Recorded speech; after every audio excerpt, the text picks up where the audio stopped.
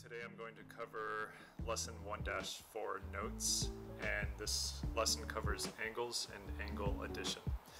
So let's get started. A ray is a part of a line. Ray we've covered before in our undefined terms. And recall that it has one endpoint and extends indefinitely in the other direction. Let's name two rays in this angle that you see to your right. One of the rays is going to be right here. It has the endpoint A and it extends in the B direction. So we're going to call that ray AB. And the other ray is going to be a ray AC. Okay, so let's go ahead and label this. Um, if two rays, well, let's let's label it later. If two rays have a common endpoint, as you see here, and extend in opposite direction, opposite directions, they are known as opposite rays. So if one was going to the left and one was going to the right, two different directions, then they would be forming a straight line. So two opposite rays form a line. Opposite rays form a blank angle, that would be a straight angle. And a straight angle is defined as measuring 180 degrees. If two rays have a common endpoint and do not make a line, then that means they must form an angle. And that is what you see here in the upper right of the page. So they form an angle. The rays are the sides of the angle. Oops. So right here and right here you have your sides of the angle. And the common endpoint is called the vertex of the angle. So the vertex would be right there. The angle above can, above can be named angle A because the vertex is point A. It can also be called other names, such as angle BAC or the other way around, angle CAB, or it can be simply known as angle 1 because there is a 1 inside of the angle. So four different ways you could call this angle above at the top right of your page. so here's another angle. Um, in example number one, we're asked to name all the angles that have R as a, as a vertex. So Let's pick the smaller ones first. We can call this angle 1 because it has angle R as a vertex, uh, sorry, point R as a vertex. Angle 2 is another one with R as a vertex. Angle 3. And those are the numbered names for those angles. We could have also called them, angle 1 could have also been called angle SRP Angle 2 could have been called PRQ, angle PRQ. Angle 3 could have been called angle uh, TRQ. And those are the small angles. We could have also gone for the bigger angles, which uh, would be SRQ. That's combining angles 1 and 2. SRQ would have been one of them. So angle SRQ. And the other big angle would be angle PRT.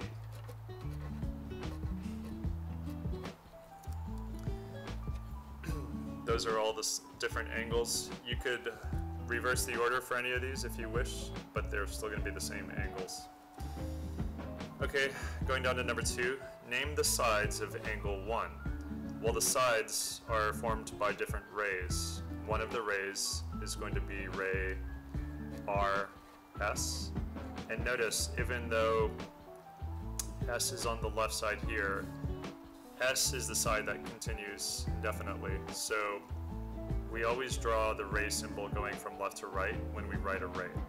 So we're going to start at R and go, R is the endpoint and S is the, kind, the side that extends. So ray RS and the other side of angle 1 was ray RP. Continuing on to number 3, name a vertex of angle, name the vertex of angle 4. Angle 4 is right here, so the vertex would be right at point B. Name the sides of angle BDC BDC, which is another name for angle two. That would be, these are segments this time, so we could say segment BD and segment DC. Those are the two segments which form the sides of that angle. And write another name for angle DBC. DBC is angle 3 in this case. And what's another name for it? That's that is the other name. Angle 3. Okay, so some vocabulary here talking about right angle, acute angle, and obtuse angle. These are definitions. A right angle is an angle whose measure is 90 degrees. And if you want to see an illustration, we usually will write this little square in the angle to indicate that it is a right angle. It's a 90 degree angle. An acute angle has a measure less than 90 degrees, so it doesn't open up quite as much. Here's an example of that. 90 degree, less than 90 degrees. So that would be a less than 90 degree angle, an acute angle. An obtuse angle, on the other hand, is going to have a measure greater than 90 degrees, but less than 180 degrees. So as an example, you could say something like this.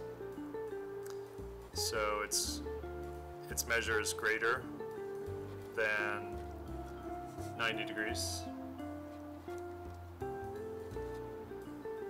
but less than 180 degrees.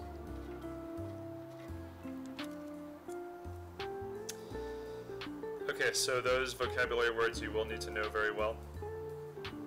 Angles that have the exact same measure are called congruent angles.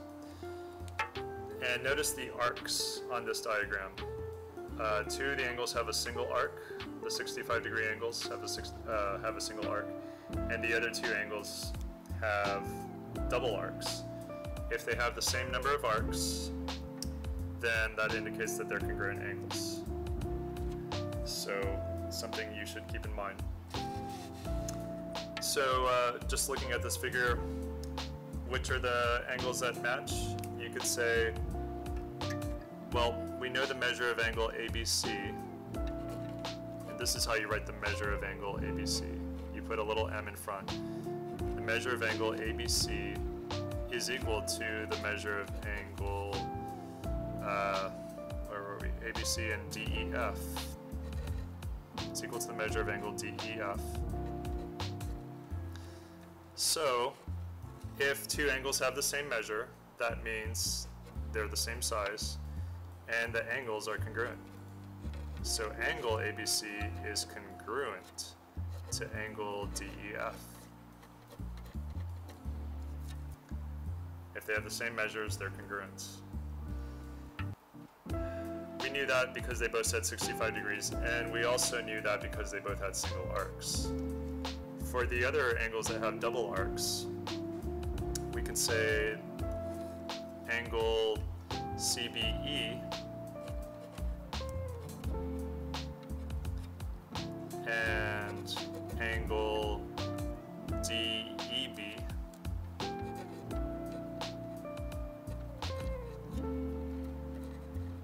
have the same number of arcs.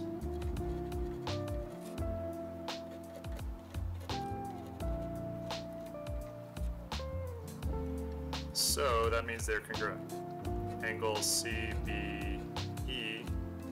is congruent to angle DEB.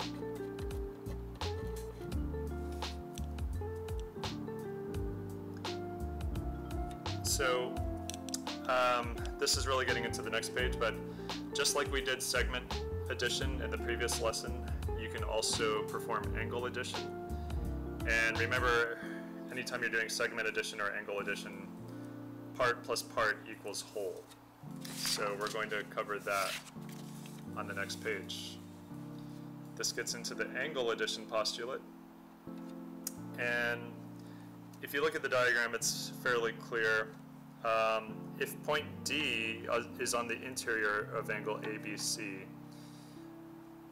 then it's going to be in the interior if and only if the measure of angle ABD plus the measure of angle DBC is equal to the measure of the whole angle, ABC.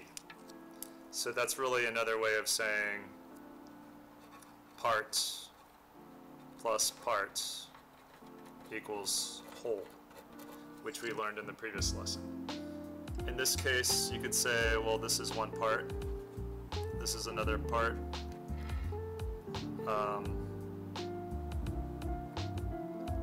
here's another part, and then the whole thing, I will write a different color. The whole thing goes all the way across to include both of them. So part plus part equals whole. And why don't I just write that? Part plus part equals whole, just like over on this side. There is a bit of, it is helpful for this lesson if you do have multiple colors of pens or markers, because there are so many different things going on. In the figure to the right, moving on, uh, ray KJ and ray KM are opposite rays, which means they form a straight line. Now, there's going to be two different problems, number 6 and number 7, that both make use of this figure.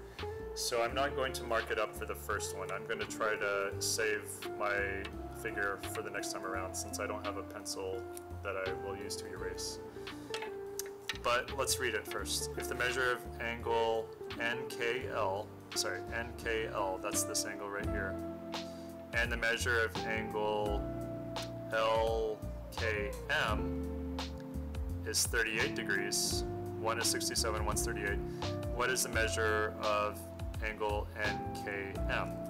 Well, this is just going to be part plus part equals whole. We can say the measure, the measure of angle NKL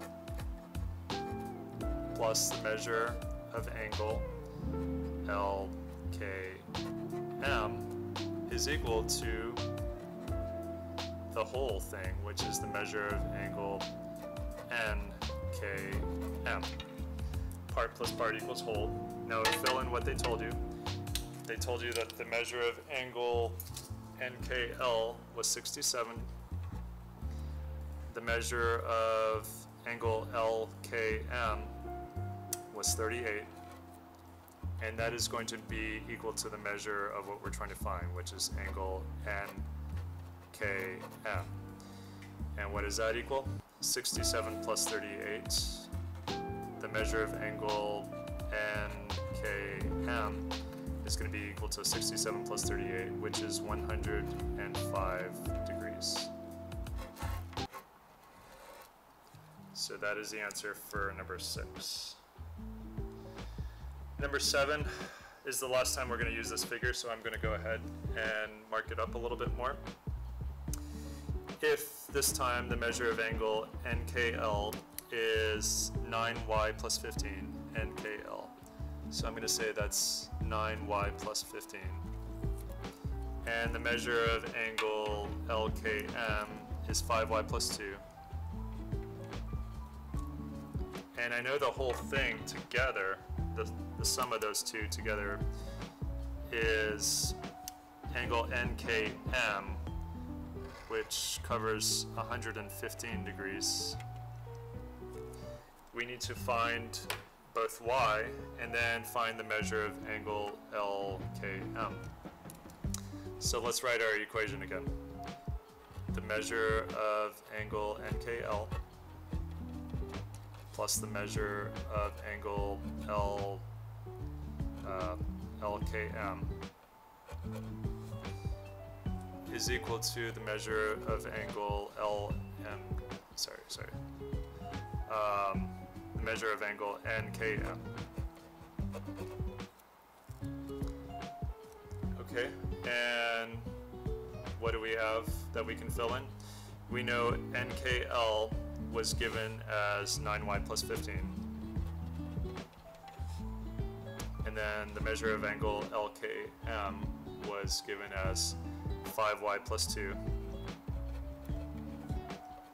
And the measure of angle NKM was given as 115. So this is our algebraic equation that we can now solve.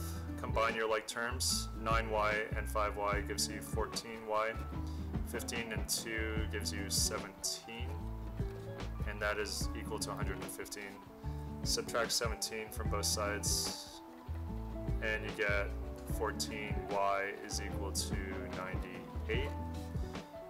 And once you divide by 14, you get y is equal to 7 it says find y and find the measure of angle LKM. Well, we already found y. Now the measure of angle LKM was given as 5y plus 2. So I'm just going to plug in what I know for y. 5 times 7 plus 2, which is equal to 35 plus 2. So the measure of angle LKM is equal to 37 degrees. These angles are all going to be in degrees as their units. Okay, so some more fill in the blanks. A ray that divides an angle into two congruent angles is called an angle bisector. That is our new vocabulary word. So in this figure on the right, angle PN, uh, sorry, sorry, ray PN is the angle bisector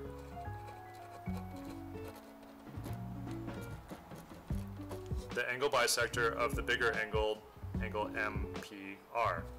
And notice we have sa the same number of arcs for these smaller two angles, which means they're congruent angles. And the only way that would be possible is if uh, ray PN was indeed the angle bisector of the larger angle MPR. This, recall, this symbol is the symbol for congruence. So we can say angle MPN, MPN, the one on the left, is congruent to angle NPR, the one on the right. And you also knew that from the arcs, like I said. So the angle bisector means the point on that ray, point N in this case, must be on the interior of angle MPR. It's possible that sometimes you'll have points that are on the exterior of the angle MPR, such as point Z. So I'm going to draw point Z here, and notice point Z is not inside the angle.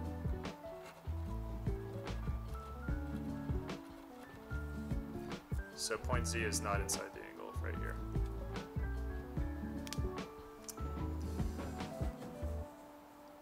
Okay, let's go down to the bottom figure. In the figure to the right, ray QP and ray QR, QP and QR are opposite rays, so they form a straight line at the bottom. And ray QS bisects this other angle, angle Q, uh, sorry, PQT. So what I would do, what I would recommend, since they're bisecting, uh, I would draw some little arcs. And you want to draw them a little staggered, because otherwise it looks like one big arc if you draw them right next to each other. So angle, this means if ray QS bisects angle PQT, you have two resulting angles that are congruent to each other. One of them is angle PQS and the other is angle SQT.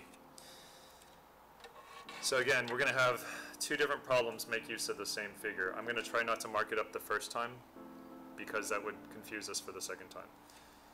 If the measure of angle PQT, that's the bigger one that got bisected, is equal to 60 degrees, angle PQS, that's one of the smaller ones, half, half as big, is equal to 4x plus 14. What is x? That's what we're trying to find. So we can say that smaller angle, PQS, had a measure of 4x plus 14.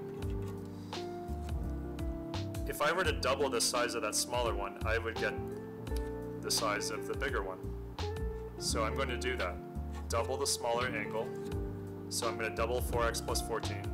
And that gives me the measure of the bigger angle, PQT, which was given as 60 degrees. So this is my equation that allows me to solve for x. If you want, you can distribute the two first. That's not a bad idea.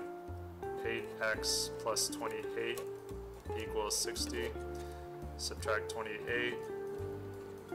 You get 8x is equal to 32. Divide by 8. x is equal to 4. And that was what we were asked to find. What is the value of x? So, just remember, the bisected angle is going to be half as big. So if you want to relate the bisected angle to the original bigger angle, you have to double the bisected angle to get the measure of the bigger angle before it was bisected. Okay, moving on to number 10. If the measure of angle PQS is equal to 3x plus 13, I'm going to write that out here, 3x plus 13. And the measure of angle SQT is equal to 6x minus 2. Find the measure of angle PQT, which is actually both of those added together. Well, all we know is, as we conveniently drew earlier, they have the same number of arcs because the bisector means these two angles are congruent to each other. So angle PQS is congruent to angle SQT. That means they have the same measures. If they have the same measures, we can set them equal to each other, which is what I will do now. 3x plus 13 equals 6x minus 2. Solve for x. I'm going to subtract 3x from both sides. 13 is equal to 3x minus 2. Add 2 to both sides. 15 is equal to 3x. Divide by 3. 5 is equal to x. That is not what we were asked to find, but we do need to know that x is equal to 5. Now, you have a couple of choices here, but recall that we're looking for the measure of angle PQT, which is exactly twice as big as either one of those. So you can pick whichever one of those you want. I'm going to say um, the measure of angle PQT is equal to twice the measure of angle uh, PQS. Sorry, I ran out of room there. So the measure that we're looking for is equal to twice the measure of angle PQS. Well, what is twice the measure of angle PQS? Twice the measure of angle PQS was given as 3x plus 13. And I know x is now 3 times 5. Know I have two sets of parentheses here, but work from your from the inside out. 3 times 5 is 15, plus 13, which gives you uh, 2 times, what is that, uh, 28. So the measure of angle PQT is equal to 56 degrees. So uh, you could have just substituted x in for here, gotten 28, and then doubled it at the very end. That would have been another way to do it. 28 degrees is the measure of one of the smaller angles. When you double it, you get 56 degrees. And that concludes our notes for today.